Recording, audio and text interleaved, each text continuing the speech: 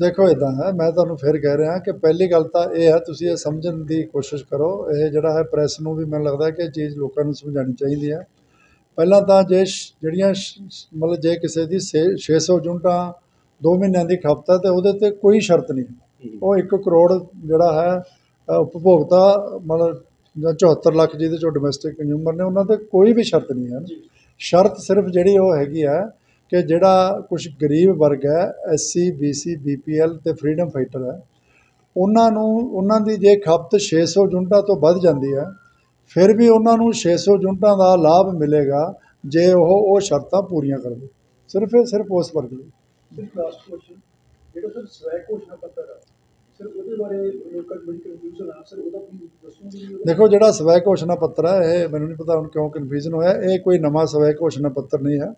ਤੁਸੀਂ ਸਾਡੀ ਵੈਬਸਾਈਟ ਤੇ ਜਾ ਕੇ ਦੇਖ ਸਕਦੇ ਹੋ। ਇਹ ਫ- ਜਨਵਰੀ ਜਾਂ ਫਰਵਰੀ 2020 ਦੇ ਵਿੱਚ ਆਲਰੇਡੀ ਜਿਹੜੇ ਐਸਸੀ ਬੀਸੀ ਬੀਪੀਐਲ ਪਰਿਵਾਰ ਜਿਹੜੇ 200 ਯੂਨਿਟਾਂ ਬਿਜਲੀ ਲੈ ਲੈ ਰਹੇ ਆ, ਉਹਨਾਂ ਸਾਰਿਆਂ ਵੱਲੋਂ ਇਹ ਸਵੈ ਘੋਸ਼ਣਾ ਪੱਤਰ ਪਹਿਲਾਂ ਹੀ ਦਿੱਤਾ ਹੋਇਆ।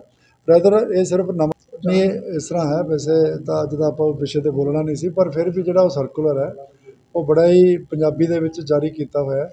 ਉਹਦੇ ਬਾਰੇ ਕੋਈ ਵੀ ਕਨਫਿਊਜ਼ਨ ਨਹੀਂ ਹੈ।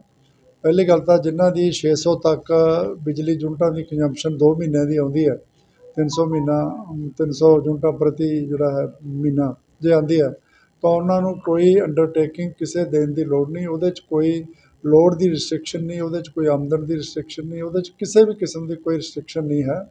ਜੇ 600 ਯੂਨਿਟਾਂ ਪ੍ਰਤੀ 2 ਮਹੀਨੇ ਕਿਸੇ ਦੀ ਖਪਤ ਹੁੰਦੀ ਹੈ, ਤਾਂ ਉਹਨਾਂ ਨੂੰ ਜਿਹੜਾ ਹੈ ਜ਼ੀਰੋ ਬਿੱਲ ਆਏਗਾ। ਤੇ ਮਤਲਬ ਇਹਦੇ ਇਹਦੇ ਬਾਰੇ ਕੋਈ ਕਨਫਿਊਜ਼ਨ ਨਹੀਂ ਹੈ it is very clear sir ਹੁਣ ਬਿਜਲੀ ਆਪਣੇ ਕੋਲ ਪੂਰੀ ਹੈ ਕਿ ਹੋਰ ਵਾਧੂ ਲੈਣੀ ਪਵੇਗੀ। ਉਹਨੂੰ ਜਿਸ ਤਰ੍ਹਾਂ ਪਹਿਲਾਂ ਵੀ ਕਹਿ ਰਹੇ ਸੀ ਆਪਣੇ ਕੋਲ ਵੀ ਘਾਟ ਹੈ ਕੋਲੇ ਦੀ ਘਾਟ ਦੱਸੀ ਜਾ ਰਹੀ ਇਸ ਤਰ੍ਹਾਂ। ਨਹੀਂ ਦੇਖੋ ਤੁਸੀਂ ਆਪ ਹੀ ਮੇਰੇ ਖਿਆਲ ਚ ਸਾਰੇ ਜਣੇ ਖੜੇ ਹੋ ਇੱਥੇ ਤੁਸੀਂ ਦੱਸ ਦਿਓ ਬਿਜਲੀ ਪੂਰੀ ਮਿਲ ਰਹੀ ਹੈ ਕਿ ਨਹੀਂ ਮਿਲ ਰਹੀ। ਤੇ ਤੁਸੀਂ ਆਪ ਹੀ ਦੱਸ ਦਿਓ ਮਿਲ ਰਹੀ ਹੈ ਕਿ ਨਹੀਂ ਮਿਲ ਰਹੀ? ਨਹੀਂ ਇਹ ਵੀ ਪਿੱਛੇ ਜਿਹੇ ਅਖਬਾਰਾਂ 'ਚ ਖਬਰਾਂ ਵੀ ਆਈਆਂ ਨਹੀਂ ਅਖਬਾਰਾਂ 'ਚ ਦੇਖੋ ਖਬਰਾਂ 'ਚ ਅਖਬਾਰਾਂ 'ਚ ਤਾਂ ਖਬਰਾਂ ਲਾਉਣੀਆਂ ਹੁੰਦੀਆਂ ਕੋਈ ਬਿਨਾਂ ਕਿਸੇ ਗਲਤ ਦਾ ਅਖਬਾਰ 'ਚ ਖਬਰ ਲੱਗਦੀ ਵੀ ਨਹੀਂ। ਲਾਉਣੀ ਵੀ ਚਾਹੀਦੀ ਹੈ ਪਰ ਬਿਜਲੀ ਪੂਰੀ ਹੈ।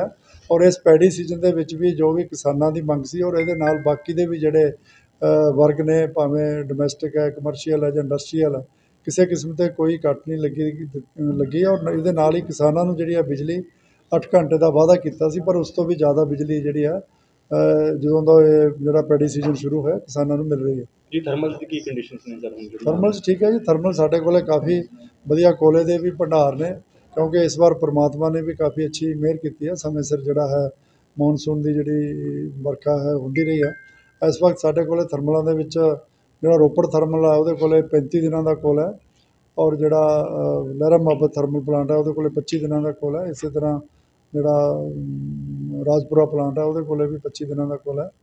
ਤਲਵੰਡੀ ਪਲਾਂਟ ਕੋਲੇ ਵੀ 10 ਦਿਨਾਂ ਦਾ ਕੋਲ ਹੈ। ਇਸ ਕਰਕੇ ਕੋਲੇ ਦਾ ਕੋਈ ਇਸ਼ੂ ਨਹੀਂ ਹੈ ਔਰ ਬਿਜਲੀ ਵੀ ਜਿਹੜੀ ਹੈ ਪੂਰੀ ਅਵੇਲੇਬਲ ਹੈ।